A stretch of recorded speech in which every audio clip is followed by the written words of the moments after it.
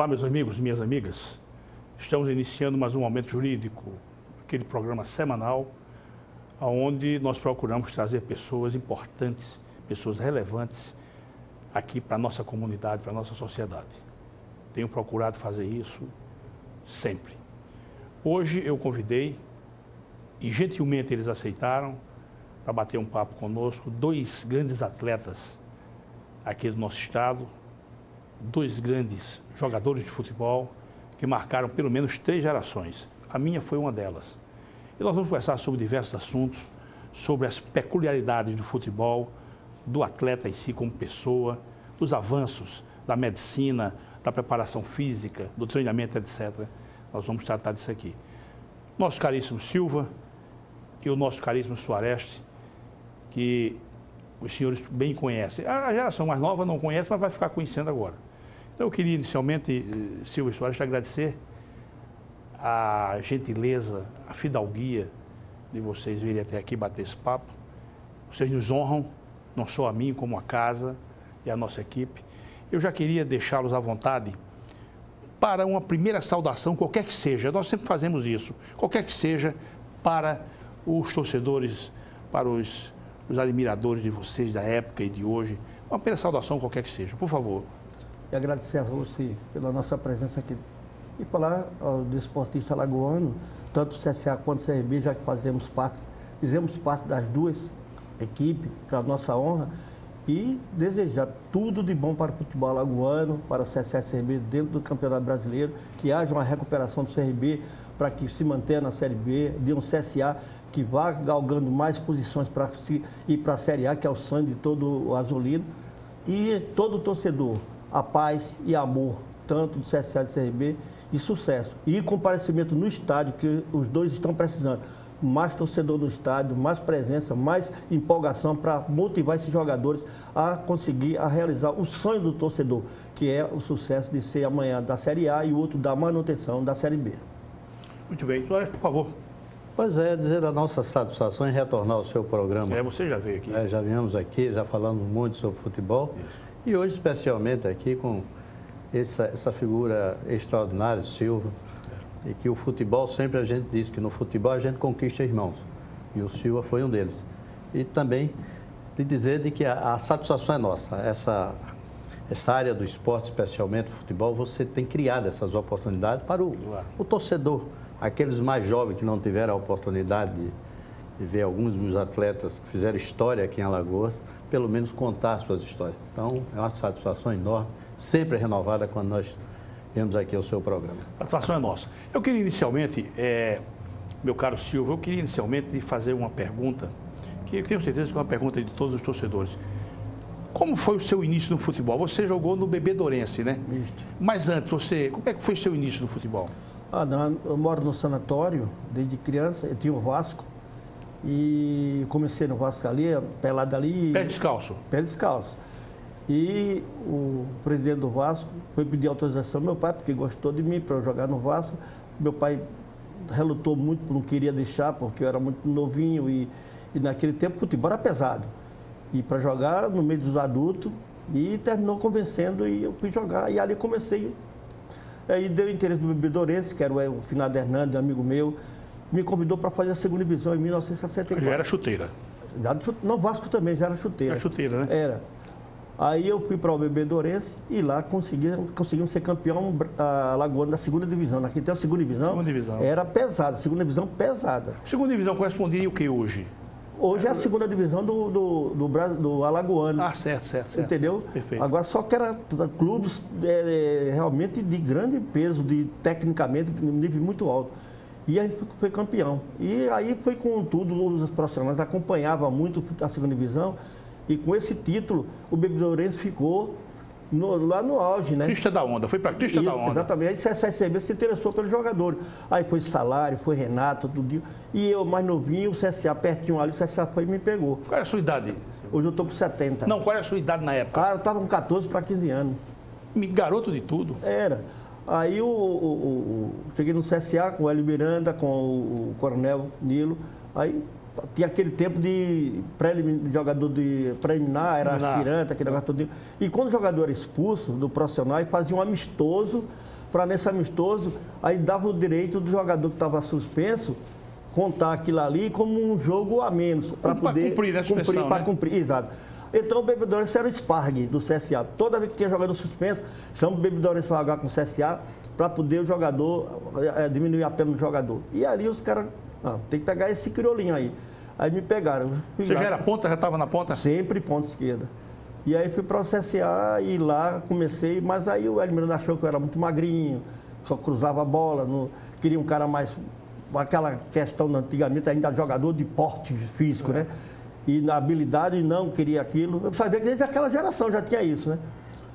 E aí foi quando o CRB de olho e resolveu me tirar perguntar para mim se eu queria ir para lá. Eu queria jogar, eu vou CRB. Fui para o CRB, o CRB aproveitou. Com um mês que eu estava no CRB, já estrei no profissional. E já foi contra o CSA e fazendo gol do CSA. Veja só. Então você nunca foi juvenil? Nunca. Eu cheguei, eu cheguei, eu era, eu era o terceiro reserva do juvenil. Eu era o tinha o, o Zito, tinha o Mário, eu era o terceiro reserva. O Mário, irmão do Herbe. Isto, eu era o terceiro reserva. Foi quando o, o, o Itamar, um dia numa decisão, aí disse, pergunta, o, Eita, não esqueço o nome agora do treinador. Do, o Claudinho. Claudinho no profissional precisou do, do, do Zé Luiz do profissional. Estava expulso, precisou de um ponteiro do, da base. Aí o Itamar lá, tem aqui o. O Itamar tem, Dengoso. Dengoso. Tem o Zito e tem também o Mário. Não, eu quero aquele neguinho lá, que ele me viu treinando. Mas é o terceiro, leva ele, eu quero ele. E me levou para o banco.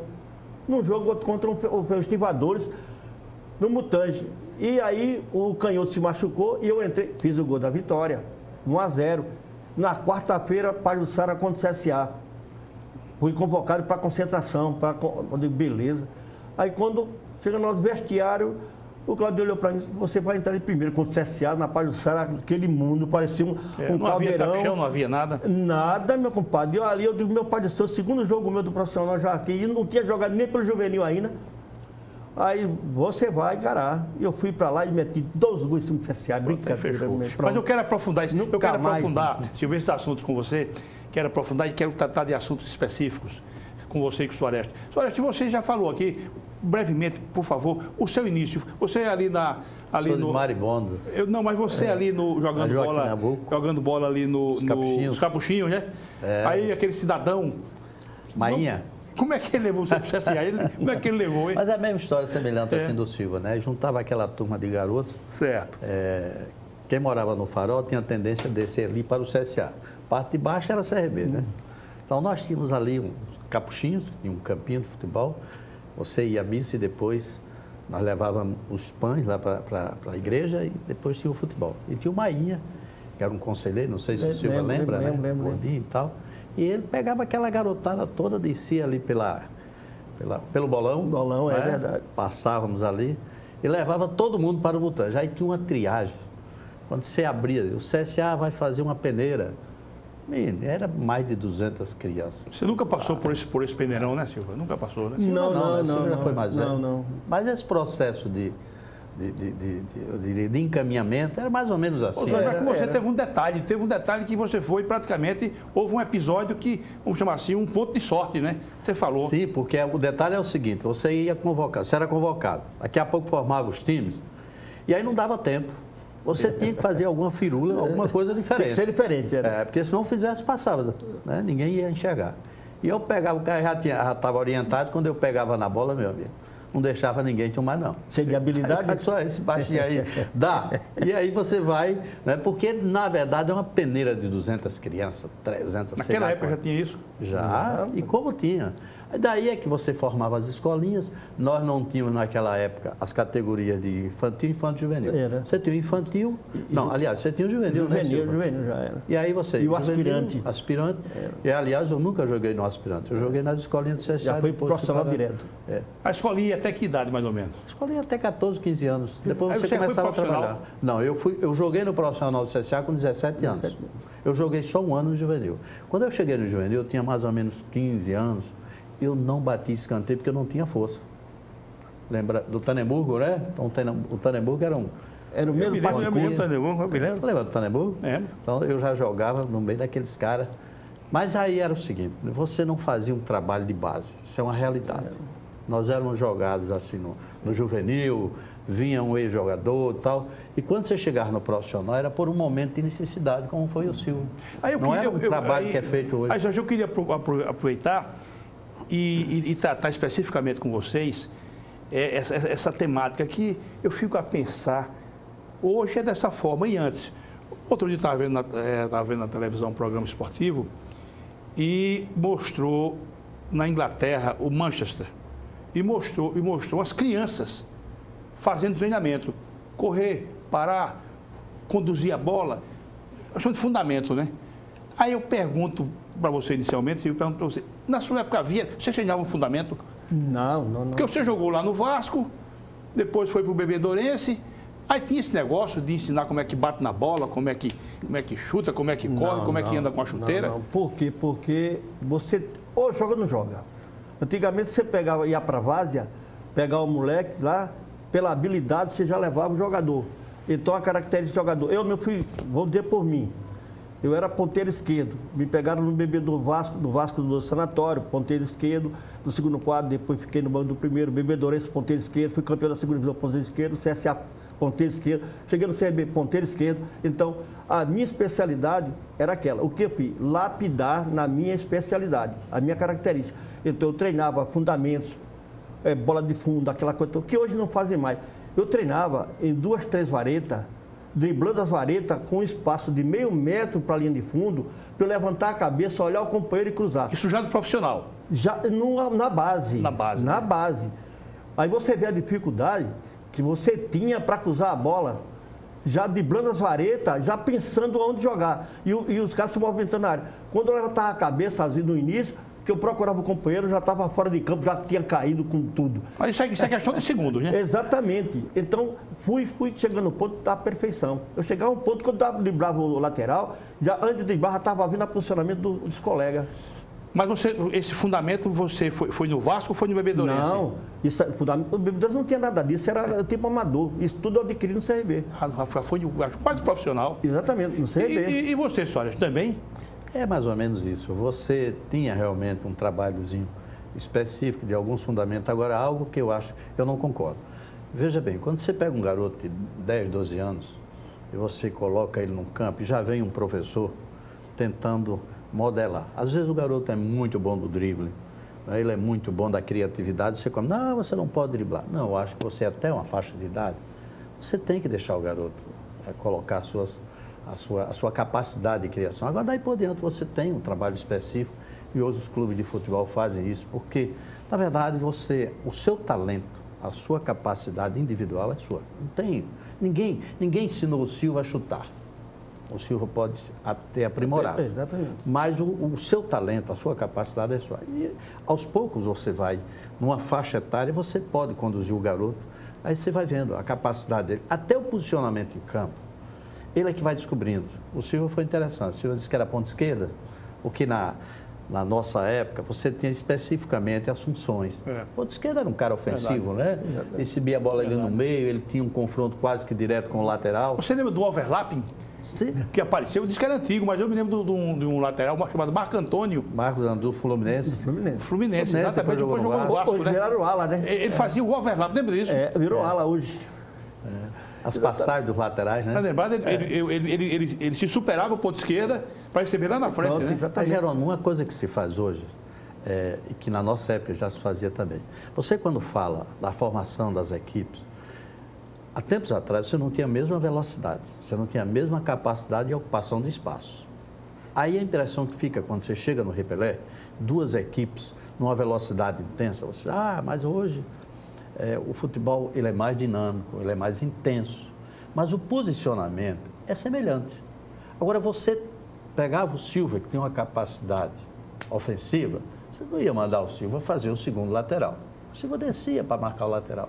Hoje todos fazem funções diversas, porque o futebol exige que mais se pede é tirar o espaço do adversário. E você só tira o espaço quando você ocupa quando você elimina a capacidade de criação do adversário. Por isso que a diferença é essa, é física. E outra que nós estávamos falando aqui em off, é a questão do, do jogador sair, é, ele treina, ele concentra, ele vai para uma palestra, tudo é o técnico que determina. E ele não é capaz de dizer, eu agora vou criar. E aí você vê jogadores com muito talento, mas que às vezes se limitam. Então, a diferença é que hoje se ouve muito técnico, de uma importância enorme. O técnico de futebol hoje tem uma, um valor extraordinário, até pelos seus salários. Mas ele pouco deixa o atleta é, é, criar. Eu, né? eu, vou querer eu vou querer aprofundar esse assunto da importância do treinador, ou seja, da importância do treinador para construir a vitória de um, de um, de um Se isso deve ser debitado, às vezes. É, é a pergunta é essa: o treinador ganha jogo? É isso que eu quero depois entrar nesse assunto. Mas eu queria tratar de uma outra temática interessante. Como era a questão dos contratos naquela época? Porque, você me permite dizer, meu caro Silva, eu estou dizendo porque eu acompanhei, né, eu, além de eu ser um torcedor do CRB, eu, eu, eu fui criado ali na Praça Raiol, ali do Aguiar e tal. Isso. Então ali, é como você diz, ali tinha que ser. Negatiano. CRB, né? A gente marcava, não esqueço do, disso nunca. Vamos assistir o treino de CRB, vamos se encontrar no Beco do Urubu. Você não lembra? Ali no Xangô do Paulo, é, não apareceu. Aí esperava ali, era o ponto de encontro, era o Beco do Urubu. Porque entrava naquele bequinho ali. Já saía no Beco da Bahia. Já saía naquele sítio ali pronto. E a gente, inclusive, não se dava nem o luxo de arrodear, pulava o muro. O muro, era. Muro. Descoqueiro. Como era, o como era naquela época os contratos? O contrato eu vou dizer porque outro dia eu conversei com o Zé Luiz, tá, lembra, né? Um grande back do CRB. Becão. E ele me disse que naquela época o, o jogador atuava, mas por conta do emprego que era dado a ele por fora. Ele sempre foi trabalhar no banco. Como era o contrato naquela época? Não, na minha época já não tinha isso mais não. O Zé ainda foi, o Zé foi, o contrato era o banco. Eu não, eu tinha um contrato. Agora, como era um contrato de amador no clube, o clube ficava de olho. Eu, a maneira que eu ia evoluindo, ele ia alterando meu contrato. Então no CRB eu ia evoluindo, aí o meu contrato já ia aumentando de salário, eu, mas eu tinha um vínculo, uma autorização dos meus pais. Isso não gerava um contrato, qualquer tipo poderíamos levar. O que é que eles faziam? Quando eles viram que o Silva ia ter futuro. Progredir? Aí ele me fez um contrato profissional chamado contrato de gaveta. De gaveta, é. é então, esse contrato eu assinava com meus pais e engavetava no clube. Não dava entrada na federação, eu ficava como amador. Se algum clube quisesse interessar em mim, como o Vasco mesmo chegou para me levar, aí eles deram entrada no contrato e aí eu já virei profissional.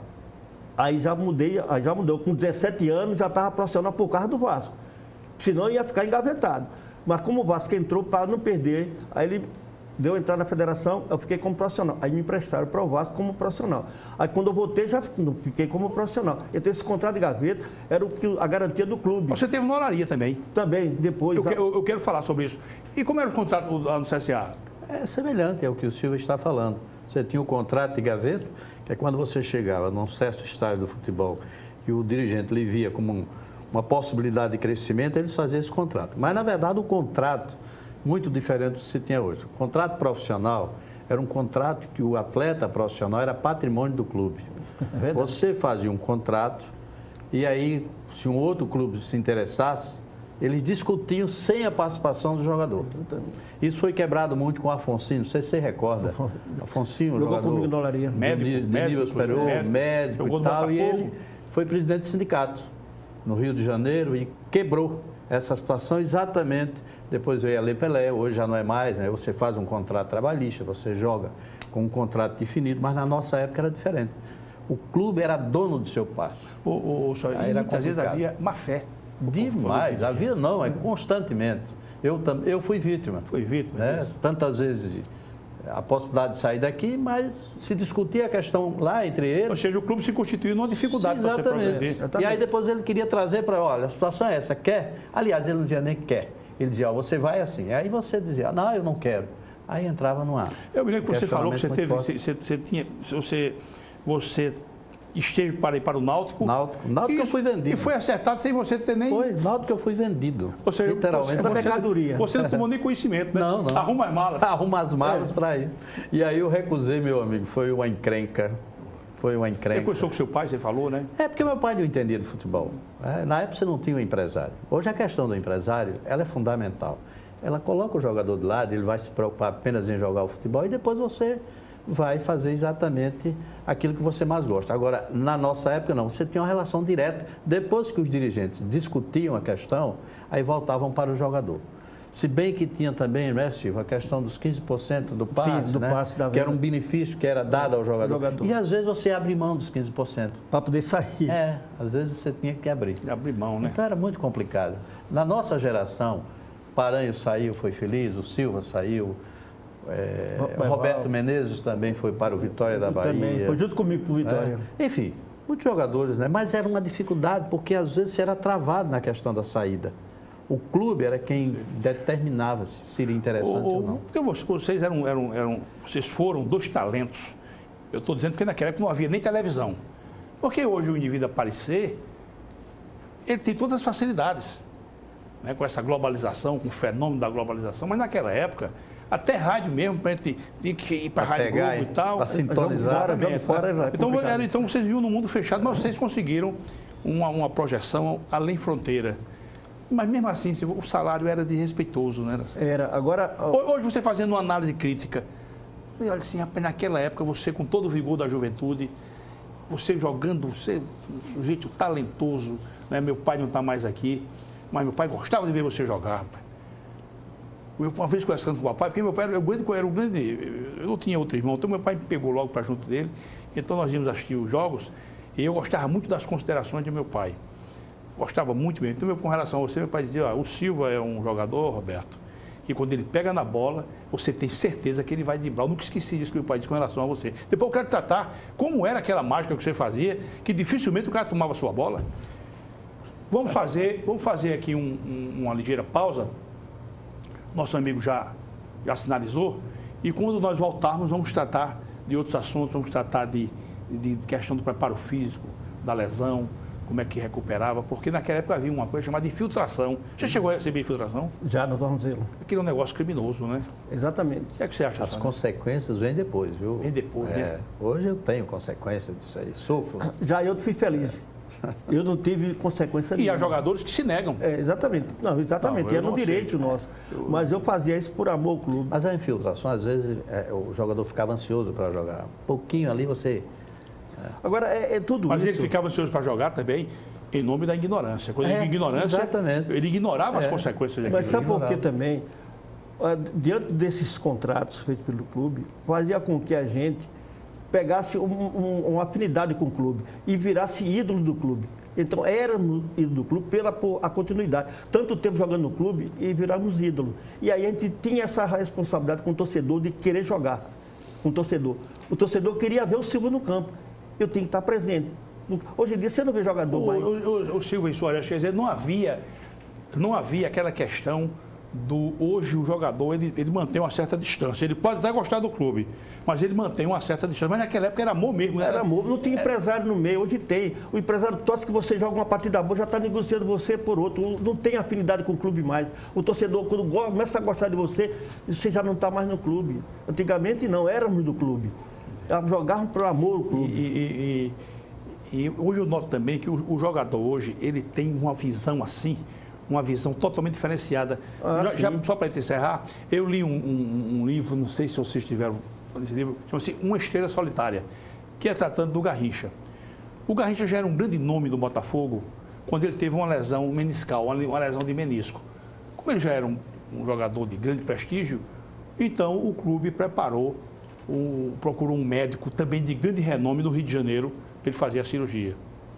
E o médico examinou e no dia marcaram a cirurgia. Dia 18, tá certo. Quando é no dia 17 que ele ia se internar fazer a cirurgia, desapareceu o Garrincha. Procuraram o Garrincha e lá vai, procuraram de todo jeito, não encontraram. Você, você viu isso no livro. Quando ele apareceu, já apareceu operado. Disse, mas você se operou aonde? Eu, eu me operei com o doutor, o doutor José Roberto, lá em, lá em Bangu. Mas, rapaz, com quem, se, so- quem foi que levou? Disse, foi, foi um jogador, disse, foi fulano e tal. Por quê? Porque disse, faça com ele que com ele não dói não. Quer dizer, você veja a, a ignorância do Garrincha, né? Foi fazer com o médico. um- um- Quer dizer, o médico Fora do clube, né? é fora do clube e nem com tanto prestígio, porque um outro jogador disse, faça com ele, que com ele não dói não. Vamos fazer uma pausa e voltamos em seguida para tratar de outros assuntos. Meus amigos e minhas amigas, muito obrigado pela audiência e voltamos rapidamente. Muito obrigado.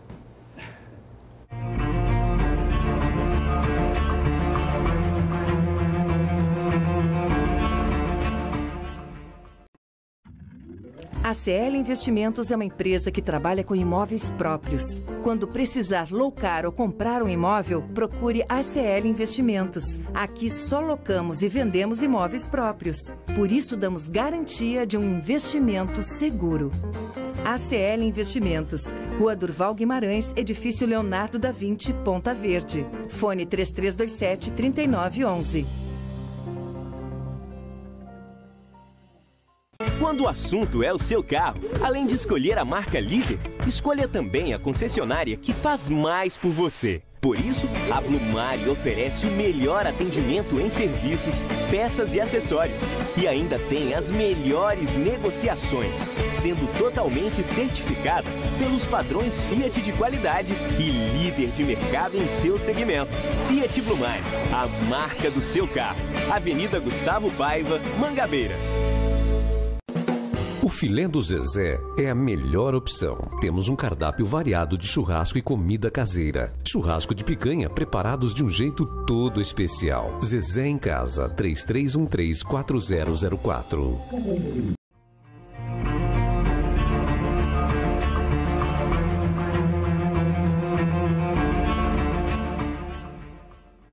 Olá, meus amigos e minhas amigas. Estamos retornando com essa conversa agradável e uma conversa que ela traz reminiscências de, para mim pelo menos, uma época muito boa, muito agradável e que eu não vou esquecer nunca, aonde esses essas duas figuras humanas, nosso Silva e o Suareste, eram atletas que pontificavam aqui. O, o, o na fase que eu me recordo mais era Suareste pelo CSA, que se notabilizava como um jogador elegante, um jogador ético, um jogador de alto equilíbrio emocional, e que isso marcou a sua passagem pelo futebol. E o nosso Silva, eu já disse, eu, eu, eu ia muito a campo com meu pai, e o velho meu pai, que já, já levou, eu ficava comentando com ele, nós comentávamos, e eu gostava muito das opiniões dele. Tudo que meu pai dizia para mim era uma verdade quase que intangível. Então meu pai dizia assim, olha Roberto, o Silva quando ele pega na bola, a gente tem certeza que ele vai driblar o jogador. E eu passei a observar, e, e, é verdade, depois eu quero tratar com você desse assunto. Mas vamos começar é, especificando essa nossa conversa aqui tão agradável. Eu, eu cresci ouvindo que o Brasil era o país do futebol. E realmente o Brasil, nas Copas do Mundo que eu, que eu pude acompanhar, ele já ia com uma probabilidade muito alta de ser campeão. Eu estou dizendo isso porque eu acompanhei a partir de 70, foi quando, porque em 66 eu era muito garoto, mas a partir de 70, e aí o Brasil ia realmente com uma possibilidade muito grande de ser campeão. Aí eu pergunto, nós podemos ser considerados ainda o país do futebol? O Brasil ainda tem hegemonia hoje? Tem mais não, né? Por favor. Do meu ponto de vista, não. Até porque o ranking já, já está dizendo que o Brasil já não é essa potência toda. Aí, se nós pegarmos as razões, são muitas. É, em épocas passadas, em todo lugar você via um campinho de pelada, você encontrava sempre. Eu quero lhe ouvir sobre isso depois. E hoje você já não tem mais. Né? Os países, sobretudo a Europa, cresceu muito, evoluiu. O futebol se tornou uma ciência, que na verdade se faz um estudo muito profundo, e nós perdemos essa capacidade. Todo mundo dizia, o grande futebol, a beleza do futebol está nos pés dos brasileiros. Hoje já não está mais. Nós agora copiamos a Europa. Né? Nós agora estamos tentando fazer com que o nosso futebol se assemelhe ao deles. Então, houve uma mudança radical. Mas fala, fala-se muito em planejamento. Você acha que a ausência desse planejamento, entre aspas, que eu não consigo objetivar, é o que determinou essa, essa, essa perda do nosso país no que se chama dessa, dessa dominância como um país de futebol? Sim, tudo na vida você tem que ter um planejamento. Sobretudo o futebol hoje, que é uma empresa. Mas eu não vejo somente apenas pela organização, não. É as condições. Vamos começar pela base. Por exemplo, nós não temos um, eu diria assim, não só os clubes, como também nós não temos uma política né, de governo que você possa possibilitar um investimento no futebol, não é só no futebol, mas nos demais esportes, mas especificamente no futebol, você não vê as escolas, né, um, um programa onde você possa incluir o futebol como algo positivo. Porque o futebol não é só mais lazer. O futebol hoje é uma condição de sobrevivência. E ela é tirada muito das camadas baixas. Então nós não temos isso. Então se limita, na verdade, a um garoto procurar uma escolinha pagando. O CSA, a CRB hoje, exemplificando aqui conosco, eles têm as escolinhas, mas terá que ser paga. E tantas escolinhas espalhadas pelos bairros. Mas eu acho, viu, Gerônimo, são muitos fatores que levaram o Brasil a perder essa capacidade. Agora, algo que não se perde. É, o, o, brasileiro em si, ele já nasce com esse talento. Mas ele está saindo aqui do Brasil com 10, 12 anos, já para a Europa. O garoto não pode sair com essa faixa de idade, mas pega os pais, emprego e leva esse garoto Messi, a tirar O Messi é um caso desse, né? O Messi é um caso e tantos outros. O Messi é aqui é hoje mais espanhol do que argentino. Exatamente. É. Aqui de Alagoas saíram jogadores que são destaques no mundo todo, o Pepe, né? O campeão do César é... CSA nem CRB. Então, essa mudança, né? Claro, a organização, a capacidade de você investir, ela existe.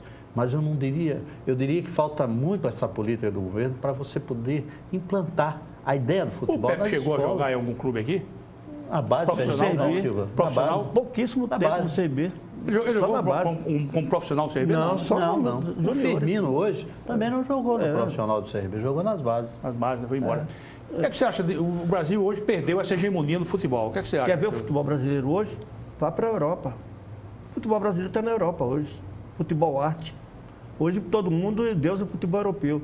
Foi nascido no Brasil. O jogador do brasileiro não quer jogar no Brasil. Eu digo isso que eu estava fazendo um trabalho no, até pela TV Gazeta no, no Campeonato do SESI, e com o Delano, vendo aquele menino, e depois eu fazia, garipando o menino, para entrevistar. Aqueles que eu via que era, tinha futuro, eu garipava depois tendo um papo. E eu chegava para o menino e o que, é que vocês pensam? Querem ir para o CRB? Não, quer que você me arranje um lugar para ir para a Europa. Ninguém quer jogar mais no Brasil porque já pensa na parte financeira, como falou o Soares. Jogar no Brasil não tem mais futuro. Por que, é que nós hoje estamos carentes? Porque hoje não tem um trabalho de base mais, porque está achando que é prejuízo trabalhar na base. Ele não investe mais na base.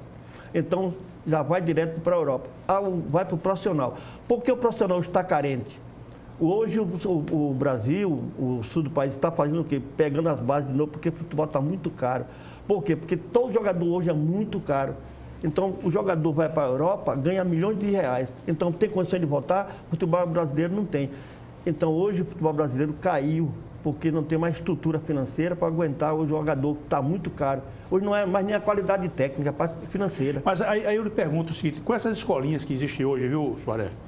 Eu queria que vocês dessem uma opinião. O talento não pode deixar de existir. Você pode colocar Sem ele, meu filho, na melhor tem. escolinha do mundo. Do Barcelona, do, do Tottenham, do Manchester, né, do São Paulo, se ele não tiver talento.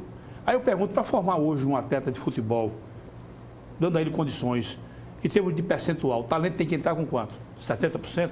60%? Eu diria que 70%. Oi. O resto você aprimora.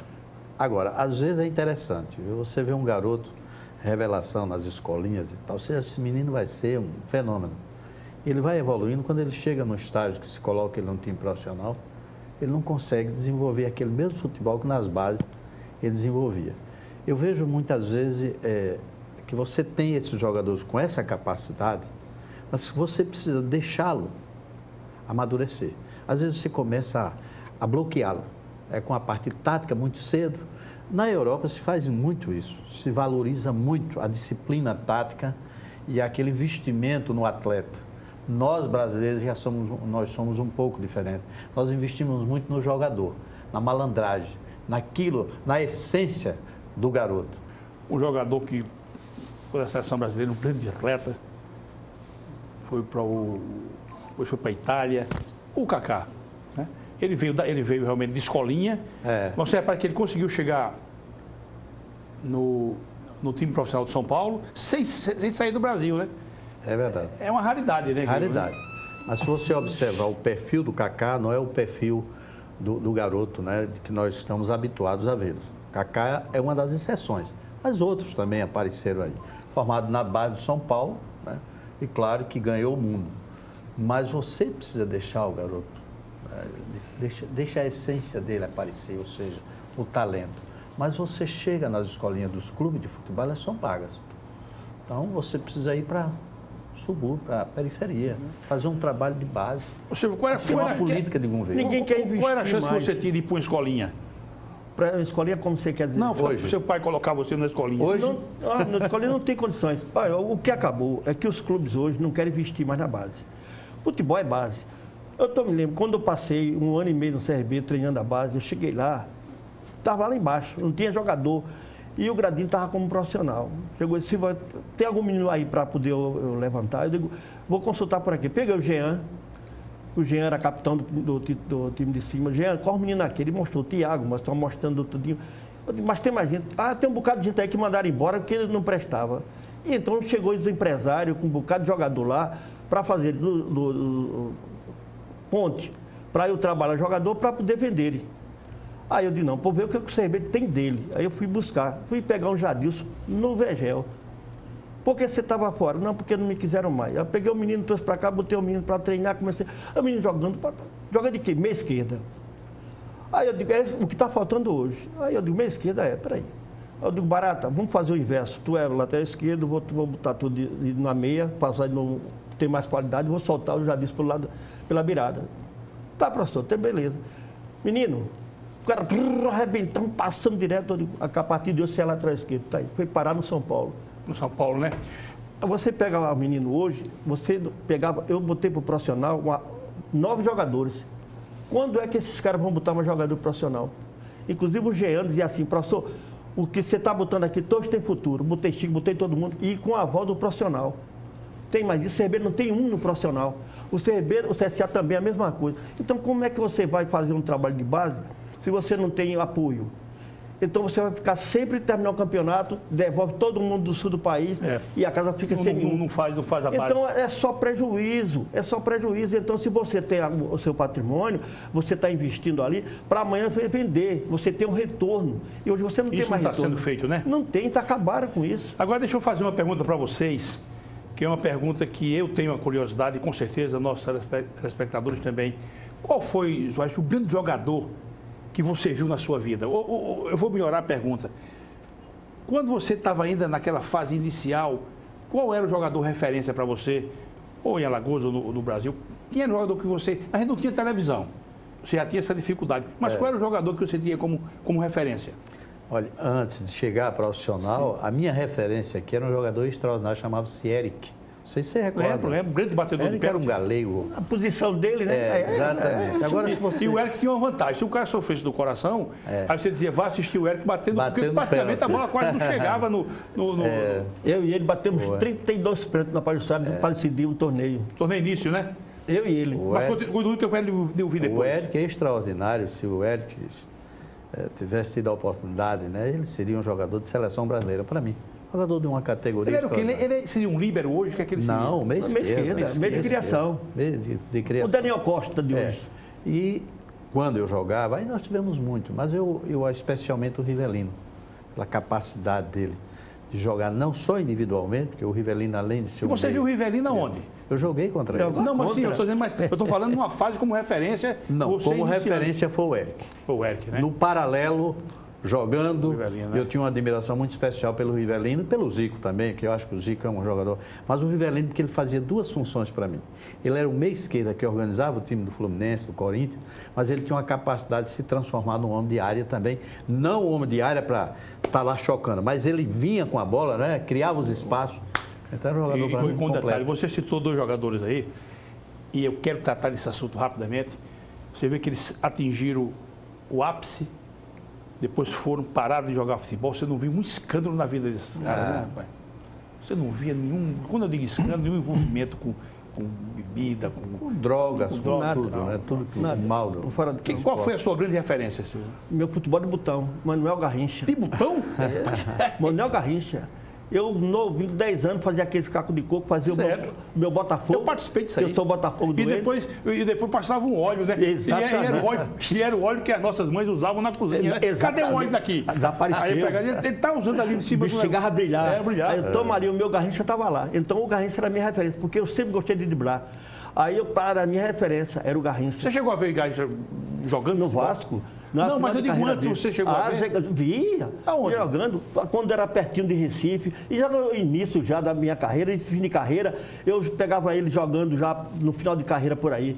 Mas eu nunca tive a oportunidade que eu tive foi no Vasco, ele final de carreira, e aí ele jogando amistoso, encerrando a carreira eu no Vasco, e eu vendo o Garrincha jogando dali, o meu, meu ídolo. Eu já cheguei a vê-lo jogando, eu estava começando no Vasco, e ele encerrando a carreira, eu vendo ali para mim.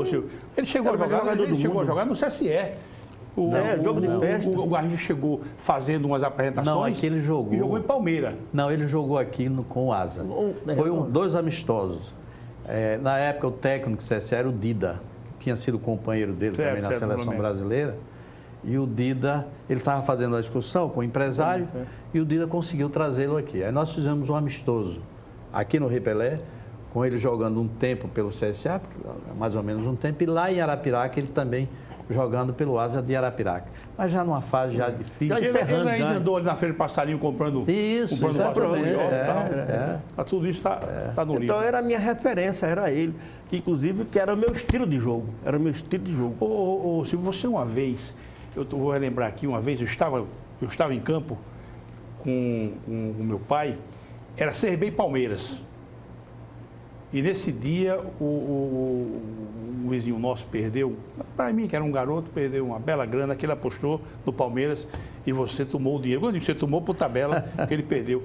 Você deu um drible no Luiz Pereira, a distância, eu vim, eu vim fazer, dar aquele tipo de drible, eu vi Paulo César Caju e depois você, depois eu vi mais. Você, dava, você ia em alta velocidade e você fazia a bola na frente, você fazia um jogo e tirava o cara. Como é aquilo ali, hein, senhor?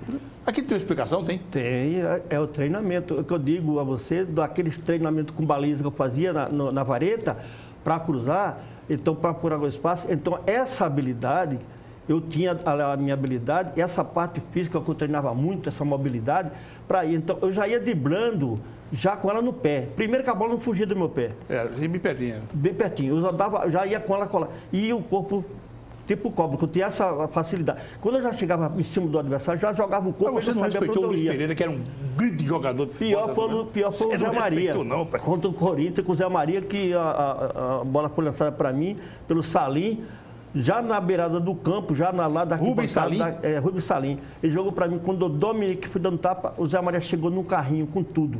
Eu dei um totozinho, um tapinha por cima, o Zé Maria passou, foi bater na pista e eu saí jogando pro fundo. O estádio todinho caiu de, de, porque eu tinha essa, essa facilidade de driblar. E o Zé, Maria tinha ah, é, cada perna que era, gostou da minha barriga. Então a gente tinha, aí o pessoal, a gente tinha essa coisa de, era lagoano, mas jogava contra esses caras de nome, mas não tinha esse negócio não, meu filho. A gente ia para cima.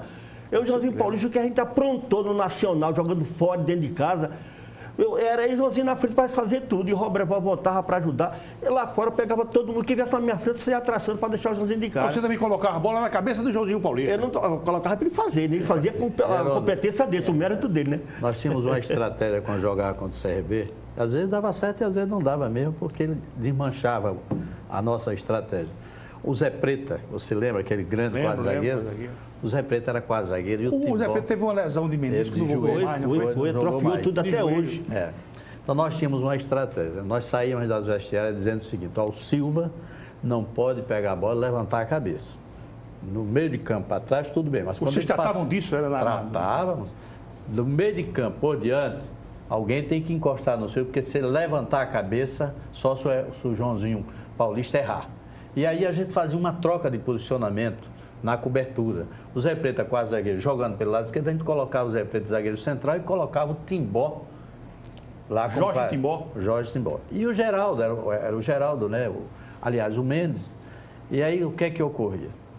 Às vezes funcionava isso até no finalzinho e tal, mas quando esse cidadão levantava a cabeça, que se dava um meio metro para ele, aí as coisas desandavam. Então, o Silvio era aquele talento de você não poder deixar ele pensar. Porque se deixasse ele pensar, as coisas aconteciam. Aconteciam. Ô, Sérgio, me, me diga uma coisa, meu caro Soares. Uma pergunta que eu quero, eu quero, eu quero te fazer. Você, você era meio de campo, né? Meio de campo. Você era meio de campo. Você chegou alguma Porque você, a sua marca é essa. Você é um indivíduo altamente ético, equilibrado emocionalmente. Você não via no futebol você estressado. Você chegou a se aborrecer com algum jogador do, do seu a mesma equipe sua, e você chamar a responsabilidade, ah, isso aconteceu. pedir assim respeito. Aconteceu. E acontecia Inclusive comigo. Época, é, e acontecia Como muito assim? mais naquela época do que hoje. E vou te explicar. Porque naquela época você fazia base no clube. Então nós éramos assim uma família. Nós conhecíamos a intimidade de um com o outro. Dividíamos quarto. Você passava muito mais tempo no clube do que mesmo em casa. Então o que que ocorria? Às vezes havia muitas discussões acirradas, mas elas também elas vinham no campo da, do, do, da irmandade, da relação de todos nós. Isso ocorria. Ocorria, às vezes, da gente ir buscar jogadores que fugiam Era. daquela situação, fugiam da concentração, ia lá fazer as coisas diferentes. E os jogadores era quem iam em busca desse, desses atletas. Então a relação era muito familiar. Mas essa questão de discussão no campo, quando você tem esse grupo homo- homogêneo, elas acontecem no campo em função de um resultado. Saiu, todos nós voltávamos a uma intimidade, a uma relação muito boa. Mas é muito comum, a cabeça ali, ó, tá mil. É o que falta ele, hoje. ele chegou a, a chamar você a responsabilidade? Não, eu tenho uma história com o Não, Silvio. não. É por isso, é o que ele falou aí, é uma coisa importante e que dentro de campo. Hoje eu não vejo mais isso. Hoje eu vejo um jogador terminando o intervalo do jogo, é entrevistado, vou ver o que, é que o professor tem para dizer. Não tem autonomia de decidir dentro É. de campo. Então a gente saía já tudo pronto, a parte tática, toda formada, o treinador dizia como devia jogar. Só aquela dificuldade, quem sabe é a gente que está ali dentro. Então eu chegava para o Soares, Soares, tu tá metendo a bola aqui, não tá dando, eu estou muito marcado, eu vou inverter aqui. Vou sair por aqui, bota o Zito pro outro lado. E eu- Mas sem eu- consultar o treinador? Sem sem consultar. consultar. A gente dentro de campo que se decidia. E o Paranho era o, o capitão, vinha com essa autoridade todinha, e aí vai mexer, bora mexer aqui dentro de campo. A gente se reunia dentro de campo e mexia. Pô, como é que quando eu olhava o Soares ia para a ponta esquerda, eu ia para o meio, ele metia. Mudava tudo dentro de campo. O treinador ganha jogo? Ganha jogo, quando tem a liberdade. Para mim, o treinador ganha jogo no banco. Escalação está garantida. O treinador que mexe no- na escalação para mim e o time dando certo não é o treinador. O time tem que ser mantido. Agora ele ganha jogo no banco. É o time que ele convoca para o banco que é importante. A mexida do treinador para mim é o banco. É ali onde ele decide o jogo. Tá jogando Soares, tá nós três jogando. Ele não ganha taticamente, não? Não, mas a tática já vem junto. Quem está no banco está preparado para isso. Aí, de repente, você não está jogando bem, nem eu, nem o Soares. Aí vem o banco. Para tirar um Silva, um Soares, para você, tem que botar um cara que vai resolver. Então, é para isso, você tem um treinador, tem que ter esse cara no banco. Agora, tem treinador que entra, muda tudo. Você está lá, você não está muito bem, mas a qualquer momento você pode resolver. Mas aí o cara lhe tira para fechar um jogo, para fazer uma mudança diferente, e aí quebra tudo. Qual a tua opinião sobre isso aí? Eu concordo plenamente com o Silvio, com mais algumas coisas que necessariamente o técnico tem que ter. Primeiro, ele tem que ser um gestor, hoje muito mais, uma capacidade de liderança, uma capacidade de encarar a dificuldade de frente. E isso não é muito, nem todos os treinadores enfrentam essa situação, cara. Ele às vezes começa a fazer, formar alguns grupos e aí as coisas desandam. Mas é fundamental você ter alguém no, no banco que você confie que nos momentos de dificuldade ele possa dividir isso com os jogadores. Olha, às vezes eu fico, nos meus comentários, eu sempre digo, o técnico pode ganhar e pode perder. Mas ele é fundamental, como o Silva disse, na transformação da sua equipe. Você joga um primeiro tempo que não está dando certo, você planeja nos treinamentos, mas você não combina com o adversário. Na hora que você não combina, as coisas podem darem errado. Aí vem a capacidade de visão, de percepção. de recompor também, Exatamente. né? Soares, Brasil e Alemanha 7 a 1 o que foi aquilo? Tem, um, tem, uma, tem uma razoabilidade, vamos dizer, em termos de, de justificativa? Aquilo me marcou muito, viu? Aquilo para mim foi uma coisa, 7 a 1 o Brasil levar 7 a 1 o que foi aquilo ali? Aquilo ali já aconteceu até comigo também. Você não esperava. Eu perdi um campeonato, o mesmo campeonato que eu ganhei pelo CSA, de 80, 79, 81, 71. 71. 71. Você Eu- estava conosco. Eu estava com ele. Foi para a justiça, eu fui para o CRB em 73. Eu perdi o mesmo campeonato com o CSA, jogando com o Juvenil todinho. E o CRB com um timaço, um timaço. E a gente perdeu o campeonato para ele. Por quê? O que acontece, essa disparidade é você achar que você não tem competência para resolver e termina dando os erros. Mas no caso da seleção brasileira com a Alemanha, o que foi que houve ali? Mas ali que está a qualidade. O Brasil, um, um timão. Mas chegou na Copa do Mundo, veio o emocional. Muita coisa mudou ali, jogadores que choravam. Então, essa coisa muda muito. Você está com um time muito bom. Mas, às vezes, uma peça ou duas que não está bem preparada emocionalmente, desmonta o sistema. Porque um jogador de futebol, o time de futebol não depende de um jogador só. Ele é- tem uma estrela. Coletivo, né? Por que é que pegaram no pé do Neymar? Eu defendo o Neymar até hoje. Botaram toda a responsabilidade Mesmo no com aquele jogador. cabelinho de mingau, Pode ser o que for, mas você bota a né? responsabilidade em cima do jogador quando tem uns 11. Porque só um tem a responsabilidade de resolver. Por quê? Mas você não acha que a imprensa é responsável também por isso, não? Mas essa que é a pior coisa, é, é, porque joga toda a culpa para ali.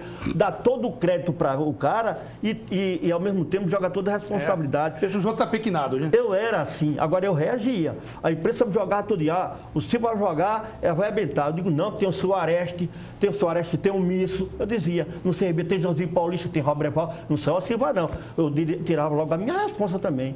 Se ele não jogar ele para mim e não aparecer no, na, no lance, não vou, Silva não vai jogar, não. É. Qual a sua opinião? O Brasil 7x1. Olha, Foi que houve ali? É, é inexplicável. Aquilo não acontece duas vezes. Nem o Brasil Nunca vai, mais. vai dar aquela goleada e muito menos a Alemanha vai repetir. Mas o que acontece no futebol, às vezes, é um otimismo exagerado, é algo que você já acha que já ganhou. Todo o cenário daquela Copa do Mundo era para o Brasil esqueceram que a Alemanha ela não tinha responsabilidade de ganhar. Se você pegar novamente aquele jogo, a, é, foram, foi 7 a 1, a maior parte dos gols aconteceram com o Brasil olhando. Com 20 minutos estava 3 a 0. Aquilo não acontece duas vezes. Aquilo é, eu diria, o improvável do futebol, mas que está dentro do contexto. Contexto então, né? para mim, eu já ouvi muita gente falar sobre aquilo. É muito interessante, cada um tem uma explicação. Mas cada um é no seu raciocínio, não uma explicação lógica que você possa é. tirar daquela situação uma futura situação. Naquela noite eu dormi mal. É, quem não dormiu? Mal, né? Quem não dormiu? dormiu né? Eu não esperava uma reação do time. O Brasil estava pronto, estava arrumado. Então, era uma equipe. Agora, o Silva colocou uma coisa muito é. interessante. O Brasil viveu uma situação emocional no jogo anterior, se eu não me engano, com o Chile, Exatamente. que disputou no pênalti, né? Exatamente. A classificação dele. Ali já foi. Teve a já questão víamos, do Neymar, né? Já vimos que o Brasil não estava tão preparado emocionalmente. O capitão da seleção brasileira, aquele quase zagueiro. Né? Que jogou, jogou muito bem Isso. agora. É, exatamente. É, Thiago Silva, Thiago né? Silva. Ele era o capitão, o responsável de coordenar a sua equipe, de ser o, o a grande liderança. Quando chamaram ele para bater o pênalti, ele correu. Estava é. lá sentado. Mas fez uma bela Copa do Mundo agora. Não, agora, exatamente. exatamente mudou, mais experiente, agora, mais preparado. Viu, Jerônimo, que o, às vezes o torcedor não compreende eu acho que é, é, muito assim. Se você jogou, se você viveu aquela emoção dentro do estádio, você pode dimensionar o que é você jogar numa situação, eu diria às vezes, desconfortável. Por exemplo, você vai um pênalti aos 48 minutos. Aí todo mundo corre, né, Silva? Ninguém quer bater. Aí vai o Silva, todo mundo acreditou no Silva, o Silva vai e perde. Aí os caras caem em cima do Silva. Ah, se o campo desse dar uma entrevista, olha, eu estou indo cobrar o pênalti, porque ninguém quer cobrar. Meu amigo, então, o futebol é... é saísse no alto é, falante do estádio. Mas, é, olha, tudo é uma preparação. Tudo é eu, emocional, eu tudo fui é um preparado para a situação mais difícil do jogo ser eu. O CRB, qual tivesse como tivesse, pênalti. Ninguém pegava nem na bola já sabia que era eu. Sim, mas você treinava também. É. Mas exatamente. Batia quantos pênaltis depois do treino? Ah, é, mas, mas tem um detalhe. Tem uns detalhes também que acontece, porque tem um jogador, quando a sua equipe está ganhando, todo mundo quer a bola. É, tá, exatamente. Concorda, né? É verdade. Todo mundo. Aí quando aparece um pênalti está 3 a 0 eu não tenho a é, responsabilidade. Exatamente. Eu quero bater. Eu é, eu mas quando as coisas estão complicadas, aí tem que aparecer as lideranças, exatamente. aqueles que colocam a responsabilidade, traz para você a responsabilidade. E aí, Silva disse uma coisa muito interessante eu também não critico o Neymar, porque se você pode cobrar tudo do Neymar, mas ele não se escondeu. Exatamente. Ele não se escondeu, é verdade, ele abusou é de ter a responsabilidade para ele. Então, é isso é importante. O nosso diretor já fez o sinal, mas eu vou fazer uma última pergunta e eu encareço aos ilustres amigos da brevidade só para a gente fechar o programa. Primeiro vou perguntar ao Floresta. Floresta, o que você, hoje você fazendo uma análise crítica de toda a sua, de toda a sua passagem pelo futebol como atleta, como o exemplo que você foi, o que você não faria novamente? O que eu não faria, se você me pegasse muitas coisas, mas algo que eu não faria era um conselho que meu pai me deu. Todas as vezes que um clube de futebol vinha me apanhar aqui, como nós já falamos aqui no início do nosso bate-papo, que havia uma dificuldade, mas o meu pai também travava. Ele perguntava, quanto é que você vai ganhar? Eu vou ganhar isso aqui. E isso me levou a passar o meu tempo todinho do futebol sem ter saído aqui de Alagoas e está agora, nesse momento, contando uma história diferente, como o Silva está contando. Então, eu me arrependo não de ter vivido toda a história com o CSA, bonito, espetacular, mas eu queria ter vivido tudo isso com o CSA e ter saído um pouco para estar tá contando decolado, uma história né? diferente. Né? Chance você teve para sair daqui, Sim, né? tive demais. E, e, você, meu caro Silvio, o que é que você não faria novamente? Menos amor, mais profissão. É o que tem hoje. Não tem mais amor à profissão. Jogador de futebol não tem mais amor à profissão só pensa futuro, é financeiro. A gente não, a gente amava a profissão. Então você seria jogava por amor, né? jogava por amor. Financeiramente, até pouco dinheiro, o importante era estar. Jogar na Europa, jogar no Vasco, queria ir. Não era nem pelo dinheiro, é pelo Estado estar ali. Hoje não é pelo dinheiro. Hoje você está no Vasco da Gama, mas se o CRB oferecer mais, você sai de lá e vem para cá. Hoje é o financeiro. O, Hoje é o o financeiro. Silvio, só para a gente fechar, ainda hoje, eu estou dizendo isso, eu conver- conversei aqui antes com o Soares, em outro programa conversamos e tal. Eu, se você tiver, você, me permita dizer isso a você, eu não vou chamar de, de- não é azar, é que você veio num momento que não era para você vir, era para você ter vindo agora. Com aquele futebol seu, você, Soares, eu estou dizendo o, o Silva porque ele era um atacante, né? É verdade. Ele aparece mais do que o cara do, Mas sem ele eu não fazia nada. Viu? Se você, se você tivesse vindo aparecido no futebol hoje, você, você iria muito longe, viu? Você iria para a seleção brasileira com Mas para eu estar lá, eu teria que levar o Soares, Sim, levar o é. Joãozinho Não, Paulo. que tô- é- é era. coletivo, né? Silvio é um Exatamente. talento Mas veio num momento que- É, porque- Silvio era um talento daqueles que é nato, aquele que você não... Silvio, se fosse hoje, ele estaria Mas muito sabe por longe que daqui. diz isso? Porque hoje não existe mais concorrência. Antigamente, o Silva era uma tinha mais de 20 caras concorrendo com o Silva, com o Soares. Tem que ser muito bom. É. Hoje não tem concorrente para ninguém. Hoje o Neymar é único, o Cristiano Ronaldo É é, único. Não tem concorrente. Hoje em dia não tem concorrente mais não. Antigamente tínhamos. Então a dedicação era maior. E, até mesmo a chuteira da época. Tá lembrado? Não, que eu digo isso não, que a minha chuteira ninguém tem mais. Eu tenho a chuteira Tyson, que eu botava no bolso, o Soares tá. A minha chuteira sempre foi de luxo. Agora eu comecei com a, a drible. Pensa a chuteira lembrado desgraçada. da gaeta? A gaeta. A gaeta eu botava no bolso, cara. Soares, meu amigo, muito obrigado. Sempre é uma Prazer satisfação nosso, conviver com você. satisfação mesmo. Silvio, muito obrigado. obrigado a você uma também. satisfação conviver com Toda você. nossa, meu irmão. E eu, eu, mais adiante, eu vou pedir permissão para chamá-los novamente. Vocês sempre têm boas histórias. Eu tinha muitas perguntas a fazer a vocês, mas lamentavelmente o tempo ele, O tempo urge, ele né? não espera. O tempo, como você diz, o tempo urge. Então eu queria agradecer em meu nome, em nome da televisão, em nome da nossa equipe, dizer que foi uma honra tê-los aqui. A honra foi toda nossa, com certeza. Muito obrigado. E estamos à disposição. Meus caros telespectadores, muito obrigado pela audiência e até o nosso próximo encontro, se Deus quiser. Tchau.